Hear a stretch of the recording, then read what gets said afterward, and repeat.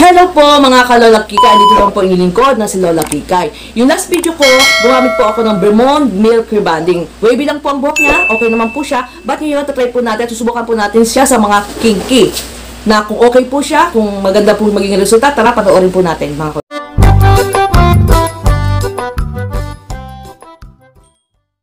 Po mga kalalakika! Ito, may kliyente naman po tayo. May pagka-kinky ang kanyang hair. Ayan, ngayon papaganda yan mukhang dry ang buhok niya. Bibigyan natin buhay. Pagsisiglahin natin ang kanyang hair. Ngayon, dumating po siya rito. Eh, nag-shampoo na po siya ng ordinary shampoo. Tuyo na rin po siya. Kaya pagkatapos itong ano natin, pwede na tayo mag-proceed sa rebonding number 1. But, kung tayo ay pumunta dito at wala naman di pa siya nasa shampoohan, eh, ito talagang gagamit natin. Kaya natin ng clarifying shampoo. Huwag lang conditioner. At kung wala nga, ordinary shampoo kasi para madali ma-absorb ng cuticle hair natin ang rebonding number 1. Kaya dapat talaga ay mag-shampoo maigi. So, mababawasan ang trabaho ni Lola Kikay dahil nag-shampoo na siya sa bahay at nakapaligo na siya. Si Lola Kikay na lang hindi pa naliligo, pero mamaya pa pero gawa at maliligo tayo mga Lola Kikay para nasa kondisyon ang pag-rebond na po natin. Magpapayad na po tayo ng rebonding number 1. Ayan, pakorona lang po, then puni po din sa magkabilang side at hatiin dito. Kumuha lang po ng konting buhok na malipis na malipis para lahat po ay malapatan. So, ito po ginamit po natin. Sinaling ko na po dito. Rebonding number 1 pa lang po tayo. Ayan po ah. Make sure na number 1 po ang gagamitin ng A. Yan, A. Yan. Oh. Yan. Vermont. Okay, magpapayad na po tayo. Ayan. Huwag yung kakalimutan na maglagay ng ear cap. Ayan. Tapos, syempre, mag- gagamit tayo ng gloves. Plastic gloves nga lang pong available po ngayon kasi naubos na yung surgical gloves. Ayan. Yung pa isa. Hmm. Kasi kailangan din natin ng protection sa kamay. Isang piraso na lang. Hanggang makarating po tayo sa tuktok, ganun lang din po. Pagkandaan nyo, huwag papaabutin sa anit. Ayan. Masaying maigi hanggang sa makarating sa tuktok. Ay magpahid ng rebonding number 1. So wait na lang po tayo ng 25 minutes at kung hindi pa luto, dagdag dagdag dagdag po tayo ng 5 minutes hanggang sa maluto. Ayan po, mag-check na po tayo ng kanyang buhok. Kukuha lang po tayo ng strand ng buhok niya para malaman natin kung luto ng buhok niya. Ayan. Pag nag-elastic na po, ah, yan. Ibig sabihin po ay luto na.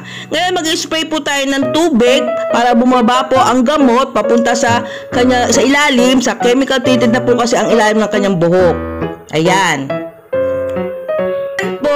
mag-spray na po tayo ng tubig at ibababa po natin ang gamot sa ilalim patapos po ng 10 minutes. Hintay lang po tayo ay anlawan na po natin. Okay? Yan po, nalawan na po ang natin ang kanyang hair. Don't forget na wala akong ginamit na shampoo, bandawan lang po ng tubig na ma- ng maiging maigi amuyin.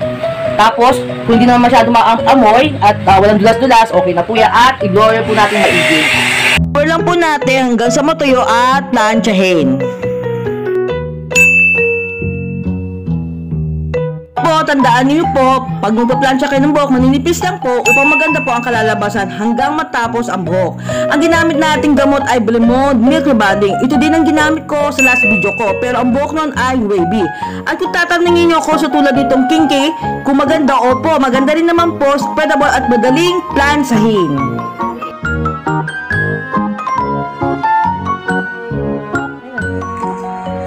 Ayan, ayan. Malapit na tayo sa tuktok. Planchahin lang natin ng maigi at pinong-pino.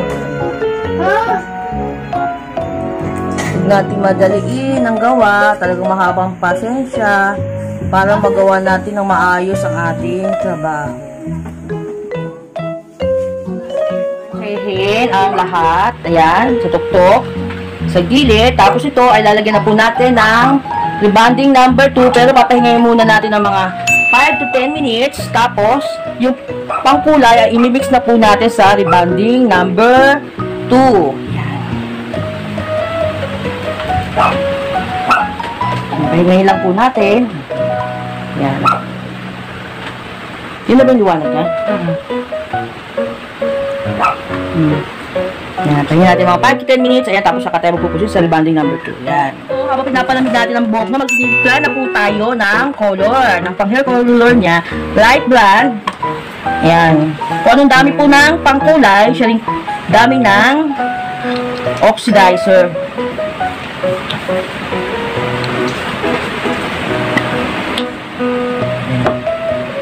Kung anong dami ng pangkulay, siya rin dami ng oxidizer. Unay po nito ay light blonde. oxidizer.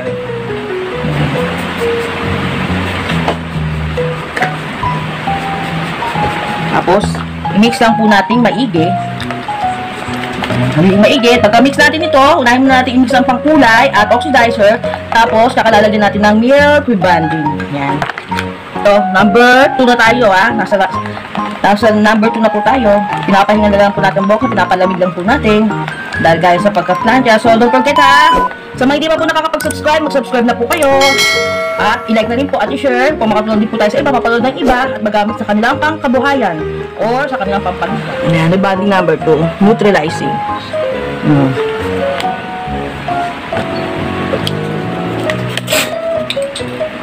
Paabot. Tapos, i-mix lang po natin, maigi.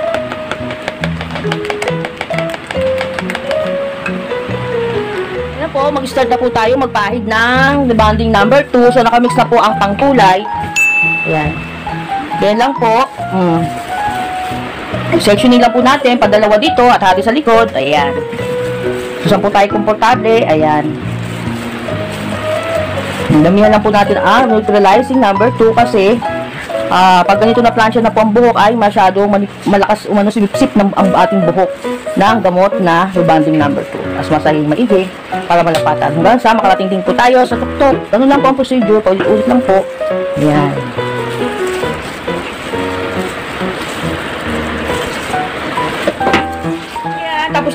na po tayo maglagay ng rebonding number 2. Sa rebonding man number 2, nakamix na po yung pakulay. So, wait lang tayo ng 25 to 30 minutes. Then, pagkatapos ng 25 to 30 minutes at kumulay na siya, pwede na po natin siyang anlawan. Patuloyin po natin maiging maigi. Ayan. Ang blower pa lang, ayan kita na. Ang resulta, oh. Kamayin lang po natin para makita natin ang pagkaunat ng kanyang hair. Ayan. Unat na unat. Ayan, oh. Hmm. Posting na po tayo. Ang tawag po dito ay posting cap. Yung iba ang tawag dito highlights cap. Ngayon po, gusto po niya kasi ng highlights pero hindi masyado matingkad. So ayan, may mga butas po yan. Depende po yan kung gaano karami hibla ang kukusungkitin nyo. Ayan, nakikita niyo po ako. May mga butas-butas. Kayo na pong bahala kung gaano karami.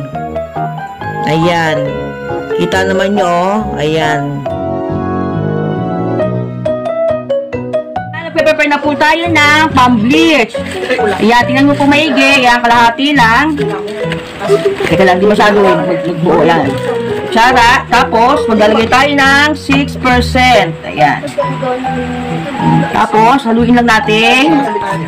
Maigi. Ayan. Haluin, maigi.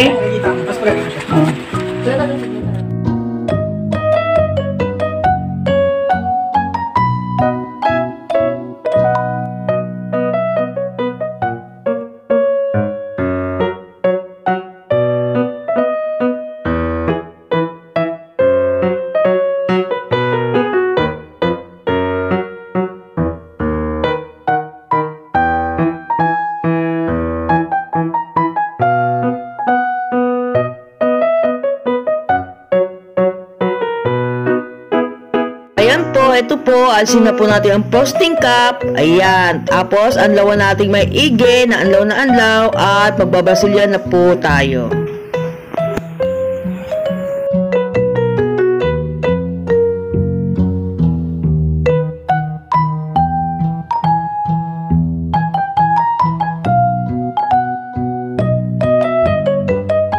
Ayan po, naanlawan na po natin at i-blower lang po natin ng 80% at magbabrasilyan na po tayo.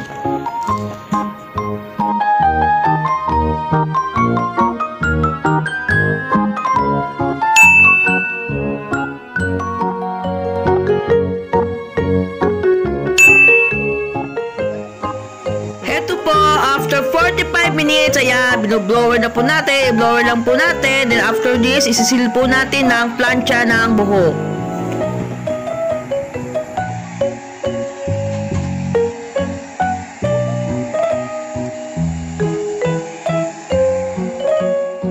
Pinaplansya na po natin. Ayan, sinisil na po natin ang plancha. After 3 days, huwag muna po natin siyang aanlawan. At ika 4th day, pwede na po natin siya ano. Pero gamit lang po ang conditioner for 1 week. Ayan, at huwag maliligo sa swimming pool at sa dagat kasi magkakadamage ang ating hair. Kalalakika, ito, may kliyente naman po tayo, may pagka-kinky ang kanyang hair. Ayan, ngayon papagandayan mo Andrea buhok niya, bibigyan natin ng buhay. Yan, ikot, ikot, ikot ang ating model. Hindi po siya maniking. Ayan, ayan. Smile, ayan.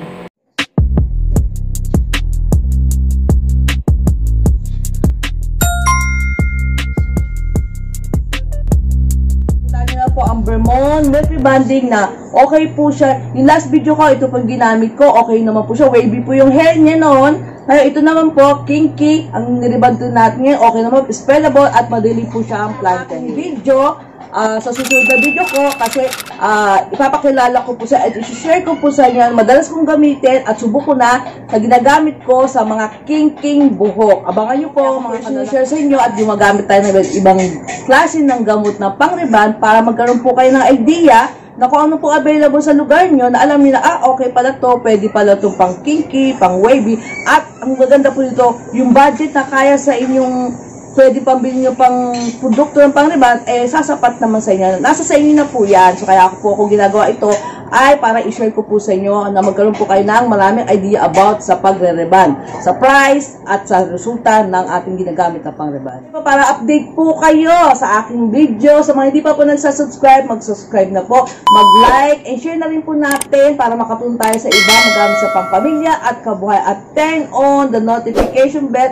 para lagi tayong update. Thank you po so much sa mga nagsasubscribe at mga nagpipigim sa akin na nakakataba naman po sa hindi ko po akalain ng tutorial na ginagawa ko po ay nakakatulong po at nagagamit na po rin nila sa kanilang pamumuhay. Thank you po so much sa mga mula umpisa sumuporta sa akin hanggang muli at gaganahan ko pa at gagawa pa po ako ng maraming video para po sa inyo po ito. Ito po ang line nila kayo makapaglingkod para sa inyo.